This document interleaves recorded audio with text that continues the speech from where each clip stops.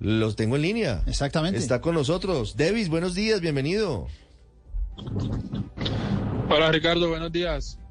Felicitaciones, hombre. Muchísimas gracias, muchísimas gracias. ¿De dónde sale usted? Porque hasta ahora nos enteramos de, de su existencia y de su calidad y con la llegada al Milan de Italia. Cuéntenos de su historia.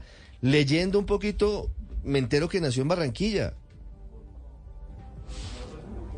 Sí, bueno, yo nací en Barranquilla el año 98, 12 de mayo, para ser preciso. Eh, ahí a los 10 años empecé a jugar fútbol en una escuela llamada Gremio, Gremio Barranquilla.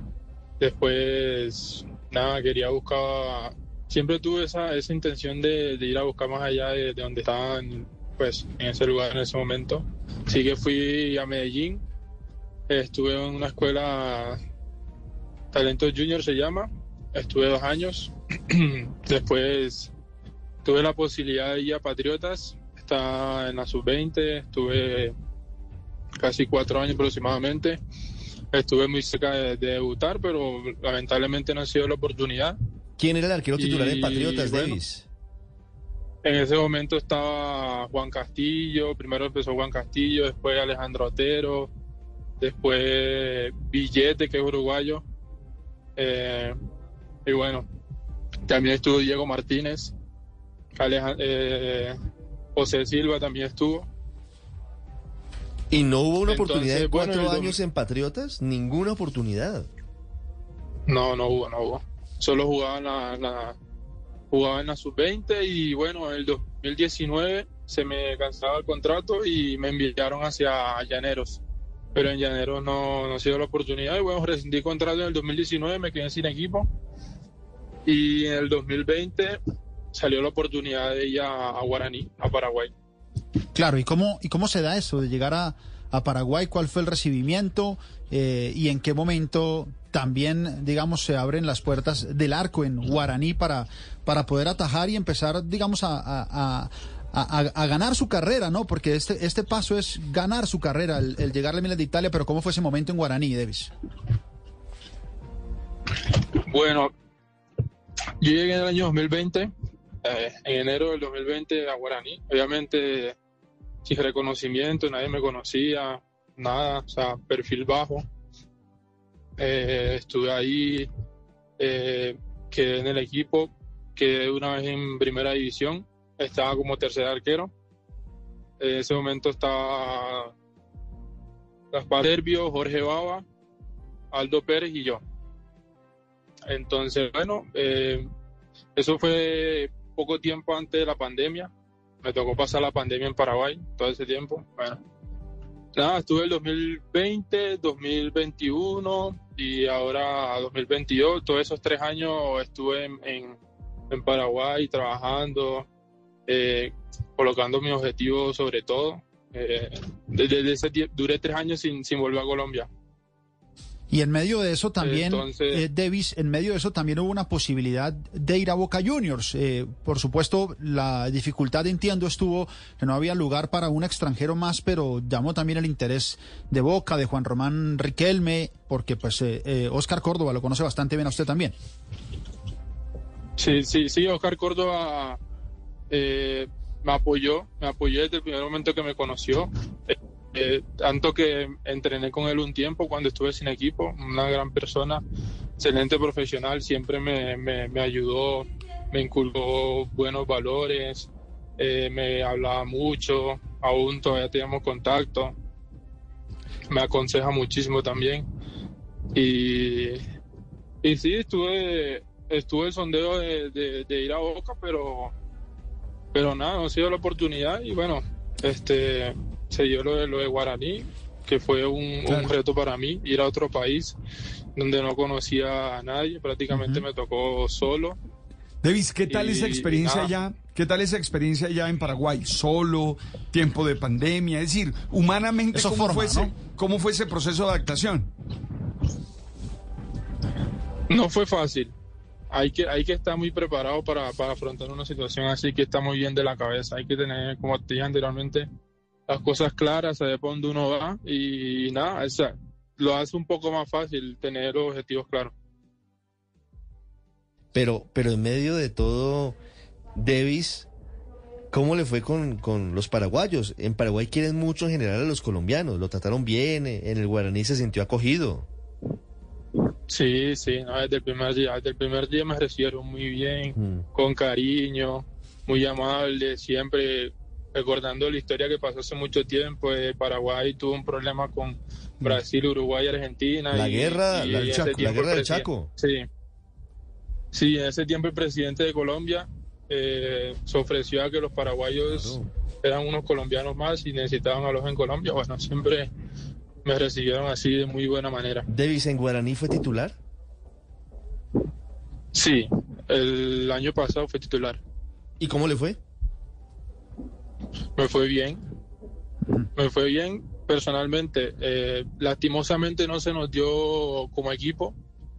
No, no se nos dio como equipo en Libertadores, tampoco en el torneo Apertura, en el torneo Clausura, pero individualmente siento que me fue muy bien.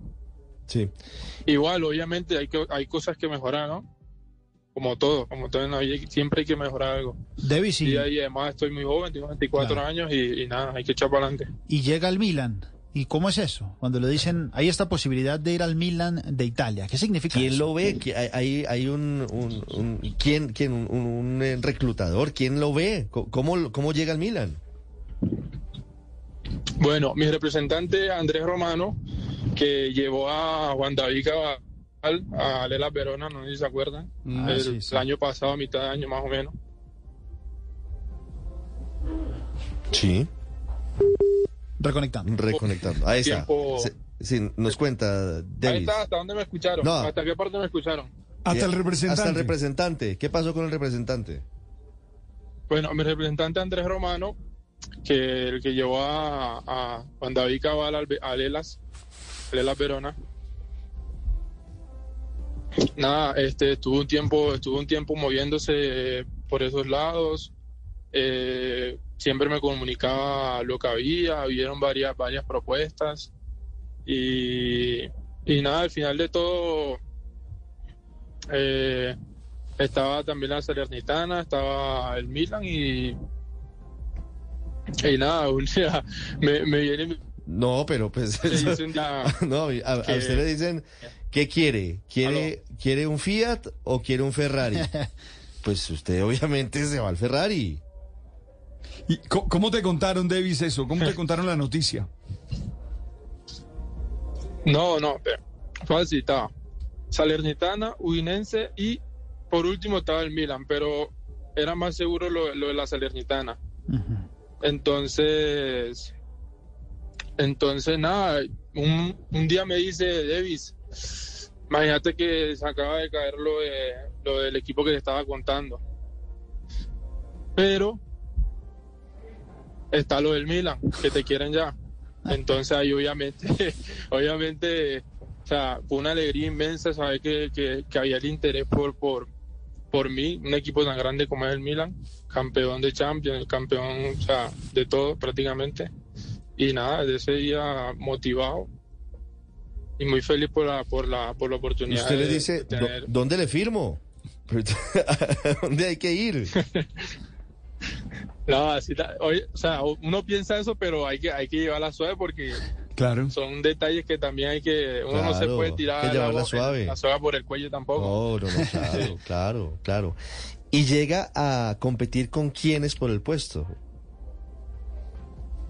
Está Micmay Mañán, que es francés, está Tataro, Tataruzano. Tataruzano, Sí.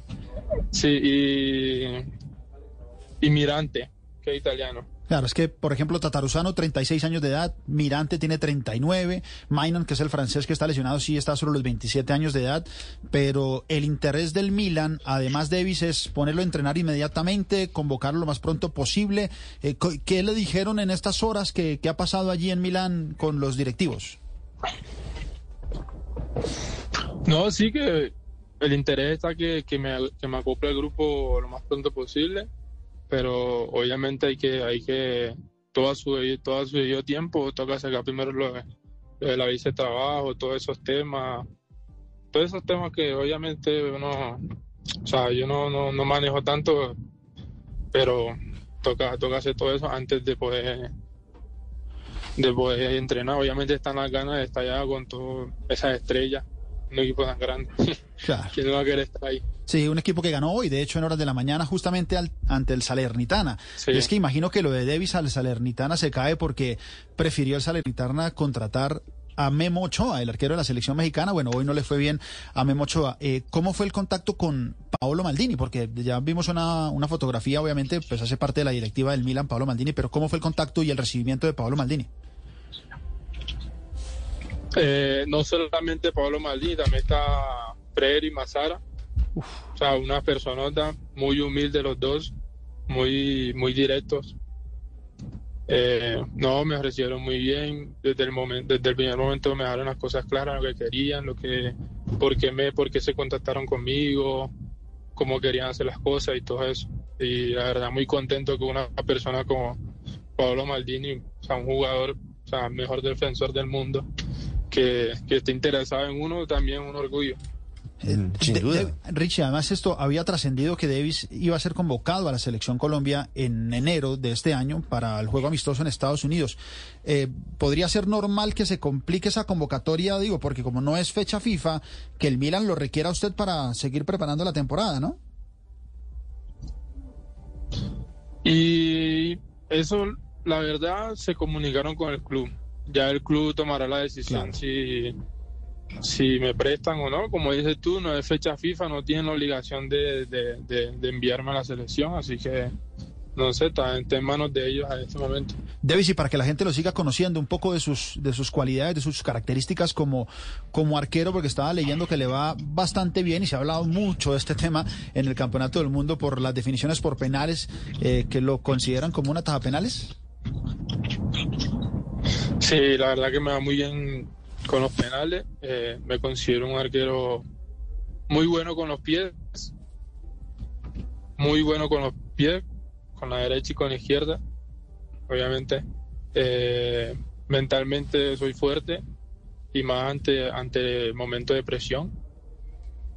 Tranquilo, líder, comunico, mu- o sea, me gusta comunicar muy bien con la defensa, obviamente eso es lo primordial para que no, no para que pueda tener arco en cero, obviamente. Entonces, nada, juego aéreo también me considero muy bien, muy bueno. Y la otra pregunta clave, Davis, eh, ¿parla italiano? Eh, sí, parlo, parlo italiano. No, porque yo no hablo nada, solamente se pregunta si parla italiano, no, no sé nada más, pero sí lo vi, lo vi en, en el video que publicó el Corre Milan, el riesgo ya Daniel, con de que algunas, con algunas palabras en italiano, ¿no? italiano y usted queda aquí. No tengo ni la más mínima idea, pero es que sí lo vi sí, a él sí. respondiendo en italiano. Pasa, pasa que yo, pasa que yo en el 2017 eh, yo estaba en Patriotas y me prestaron a Cortuluá. Cortuluá en ese momento había quedado subcampeón, si no estoy mal, de la sub-20, la Libertadores sub-20. Sí. Entonces ellos viajaban a Italia. Ellos viajaban a Italia y el arquero en ese momento, Jardani, no podía viajar porque es un año mayor que yo, 97. Entonces se comunicaron con Patriota y Patriota me prestó. Entonces viajé con ellos, con Cortuluá a Italia. Jugamos Viareggio Cup, se llama la- el torneo.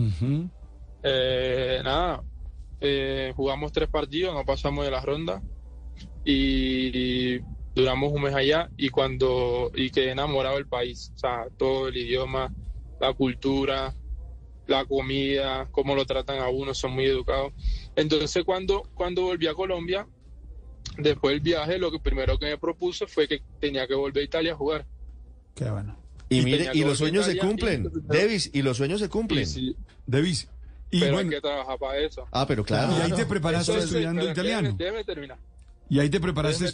Entonces, cuando yo llegué, cuando yo llegué a Colombia, lo primero que me puse a hacer fue estudiar italiano. Yo ya sabía inglés, entonces eh, más o menos hice lo mismo que, que como aprendí inglés, hice lo mismo, aprendí italiano, escuchando música, escribiendo, eh, viendo programas en italiano, en YouTube, todas esas cosas. Entonces, ahí, ahí aprendí. Obviamente todavía me falta aprender porque no estoy conviviendo con, con, con personas nativas todos los días. Entonces, ahora va a ser mucho más fácil aprender, aprender italiano, pero sí entiendo más de lo que puedo hablar. Ya se imagina primer entrenamiento con el Milan, eh, trabajo, ataque, defensa y tener enfrente a Zlatan Ibrahimovic. Desde el primer día que me dieron que estaba Palmeiras, imaginé eso, soñé con eso ya. claro, debe ser, debe ser un momento No, especial. pues, no solamente Zlatan Ibrahimovic, Olivier Giroud, está Rafael Sí, Leao. está Giroud, todo. Sí, sí, sí. ¿Qué tal el equipo Claro. que, que tiene el Milan en, Jugadores mundialistas, o sea, Mundialistas, o sea, eso- campeones. o sea, ¿quién, no, quién, no quisiera, ¿quién no quisiera estar ahí? ¿Ya pudo pasar por San Siro o todavía no? Ya estuvo en el estadio. ¿Eh? ¿Ya estuvo en San Siro? No, no, no. Hay- No, no, no Hay estuve. que ir, hay que ir pronto. Por alrededor, por fuerita, doy por fuerita nada más en buen momento. Hay que ir Davis, pronto. Y la sede de entrenamientos, además del Milan, que es Milanelo, allí concentró la selección Colombia en la preparación para el Campeonato del En Mundo en Italia. Rusia Ah, en Rusia. 2018. Sí, sí, sí, en Rusia 2018 la Sí, me antesala acuerdo fue que, que- esa concentración fue allá. que, sí, que Zapata, que Zapata habló con el club para, Cristian Zapata. Cristian. Zapata. Claro. Sí. Davis, eh, quiero primero manifestarte lo orgulloso que estamos de ti, lo orgulloso que estamos no solo de la carrera, sino de la manera como te has preparado y de la fortaleza mental y de las habilidades que expresas. Y nada, las oportunidades son para mm, dedicarse completamente. Entonces, desde aquí te enviamos toda la fuerza, Davis, pero también el orgullo que sentimos de ti. Muchísimas gracias y la verdad que aprovecho la oportunidad para invitar también a los jugadores colombianos que, que se preparen porque uno nunca sabe qué puede pasar más adelante. La verdad a mí la lectura me ayudó mu- muy, muchísimo Sí. y creo que por eso también mi cabeza ha cambiado.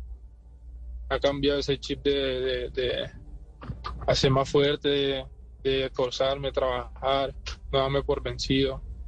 Aprendí cada día más. Entonces, todo se lo agradezco también a la lectura. Davis, nos deja unas lecciones gigantes. Es una maravilla poder hablar con usted. Y, y el mensaje que les deja a sus compañeros, colegas, futbolistas y a todos en general sobre la importancia de, prepararse, de leer, de estudiar. Imagínese, no se necesita eh, simplemente ser eh, un académico, sino que en todas las eh, actividades de la vida, desde el fútbol, imagínese usted, usted estuvo en Italia, quiso siempre volver a jugar en ese país, se preparó, aprendió italiano y se le da la oportunidad para ir al Milan con trabajo y con dedicación. Gran historia. Davis, felicitaciones y lo veremos pronto en las elecciones, de eso estoy seguro. Y le haremos fuerza siempre. Así va a ser, ojalá que sí se dé. Es un objetivo también que tengo, tengo en mi cabeza. Y así será, seguramente estará en la selección Colombia muy pronto y está en la, en la lista de, de los sucesores de David Ospina. Gracias, Davis, un abrazo, feliz día. Muchísimas gracias. Muy amable por, por su tiempo y por, por la oportunidad de poder hablar también con ustedes.